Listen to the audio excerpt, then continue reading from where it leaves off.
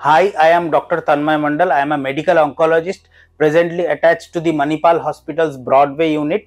So today we will talk something about stomach cancer. তো stomach cancer মানে আমাদের পেটের খাদ্য খাদ্যের যে জায়গা খাদ্যস্থল যেটা সেখানের ক্যান্সারকে বলা হয় স্টমাক ক্যান্সার স্টমাক ক্যান্সার আমাদের দেশেতে হয় এবং কি বিভিন্ন কারণে হতে পারে stomach cancer is not the most common cancer it's around fourth R fifth most common cancer in the body আমাদের খাদ্যনালী যেটা আমাদের গলার থেকে শুরু হয়ে আমাদের পায়খানার জায়গা অব্দি এক্সটেন্ড করে, তার মধ্যে স্টমাক একটি part stomach cancer is one of the common cancer in GI ক্যান্সারের মধ্যে একটি কমন ক্যান্সারের মধ্যে একটি।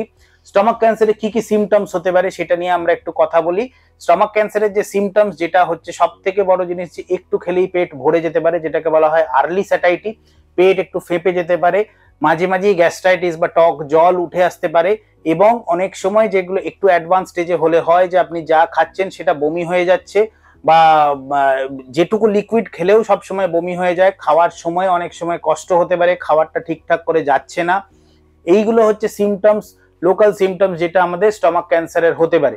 তাছাড়া যদি স্টমাক ক্যান্সারটা যদি অন্য কোনো জায়গায় ছড়িয়ে যায়, যেমন যদি লাংসে ছড়িয়ে যায়, সেক্ষেত্রে আমাদের শ্বাসকষ্ট এবং কাশি হতে পারে।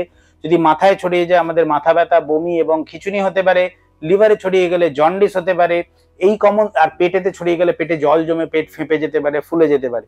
These are the common symptoms of stomach cancer stomach ক্যান্সারের মোস্টলি ডায়াগনোসিস করা হয় একটা এন্ডোস্কোপি গাইডেড বায়োপসি এন্ডোস্কোপি করে আমরা দেখতে পাই যে স্টমাক একটা টিউমার আছে এবং সেখান থেকে বায়োপসি করা হলো।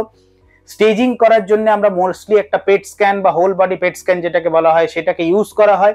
ট্রিটমেন্টের মোটামুটি যে ধাপ, যেটাকে যদি স্টমাক ক্যান্সার কিউরেবল হয়, যদি স্টমাক ক্যান্সারটা কোনো জায়গায় না ছড়িয়ে থাকে জেনারেলি প্রথমে ট্রিটমেন্টের মধ্যে আমরা প্রথমে তিনটে থেকে চারটে সাইকেল কেমোথেরাপি দিই টিউমারটাকে একটু ছোট করি, তারপরে অপারেশন করা হয় এবং তারপরে আরও চারটে সাইকেল মতন কেমোথেরাপি দেওয়া হয়।